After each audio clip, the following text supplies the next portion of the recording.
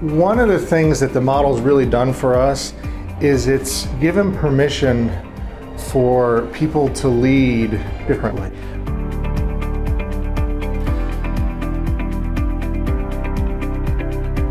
It's such a great model because it's it's simple, it's easy to understand, it's easy to apply, and people just get it. The impact it has on people is that they now have a vehicle, a process, where they can be more effective in leading others. It takes it from the follower's perspective, and it allows you to see what their need is, and then meet them with that need.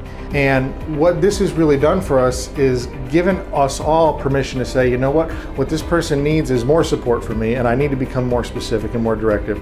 And this person over here on this task, I can back up a little bit because they've got this. If you are a transformational leader, if you're a transactional leader, you're high on emotional intelligence, if you're an introvert versus an extrovert, whatever the case might be, you're able to tie in all these leadership theories.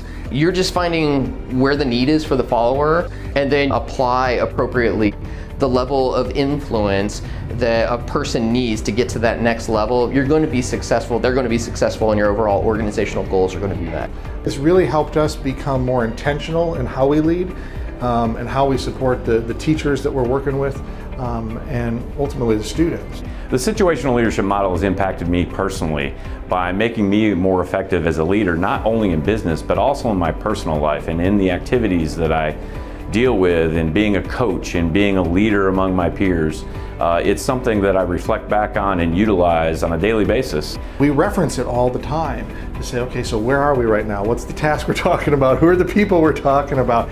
Um, so it's it's not just the model; it's the intentionality behind using it um, that I think really makes the difference in in how well it rolls out. Situational leadership is something you need, something you want. If you're looking at situational leadership, I'd say do it, absolutely.